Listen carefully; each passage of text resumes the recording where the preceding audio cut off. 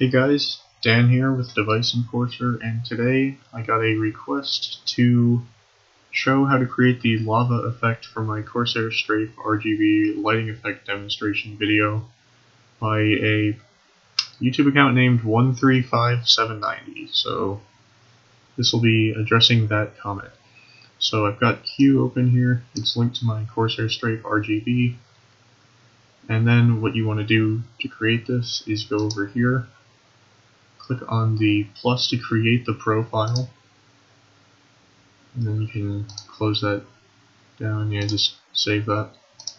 Close that down. Go to the lighting effects tab. And first we're going to want to press plus here. Go to this drop down menu and change it to a static color. Color we're going to be using first is red. Create a red background. Just click and drag by the way to select more than one thing at a time like that so make the entire thing have a red background and then we'll layer effects over top of it to create the rest of the appearance. Create a new layer by clicking the plus in the lighting effects tab. Here we're actually going to change it to a rain profile. And you'll want to select alternating and change this to orange. Now the orange that CUE has in the basic colors, it actually doesn't look very orange on the keyboard itself, it looks a little bit more yellow. So what I like to do is go to the green tab and change it to 50. You won't be able to tell a difference in the software. You actually won't be able to like even really tell too much that there's an effect changing. But at the end of this tutorial, I'll try and edit over uh, some sort of image of what the keyboard looks like. I think I'll put that at the end. So and then you'll see that the orange actually is very visible on the keyboard. So click save to save that layer, then click plus to create another layer, and this layer we're actually going to want another static color. This layer is probably going to be the most difficult to create.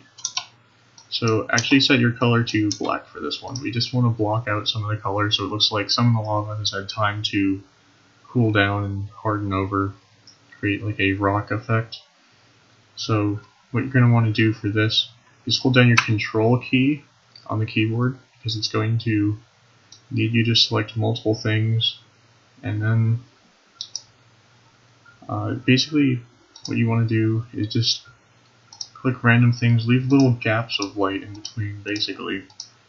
You don't want uh, too many of the keyboard lights on because basically what this effect is supposed to look like is that it's mostly hardened lava.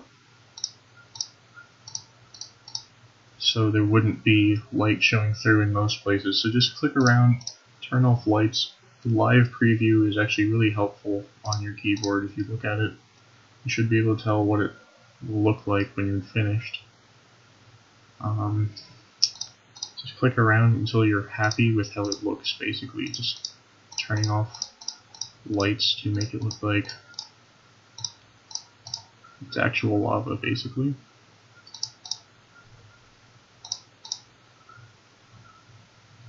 Alright, so for the sake of this tutorial and not having it go on for too overly long, I'm going to say that that's fine there.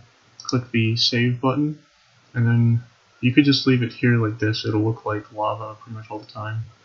But what I like to do is create an effect and go to type lighting ripple, have it alternate between red and the orange that we used earlier because what this will do is make it look like when you touch the keyboard you're disturbing the already cooled rock and it starts to re-liquefy.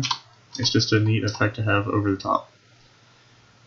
So that should be about it for the tutorial on how to create this. Let me know if it works well for you, and I'll see you all in the next video after this footage of what the keyboard will look like when you're finished. Peace out.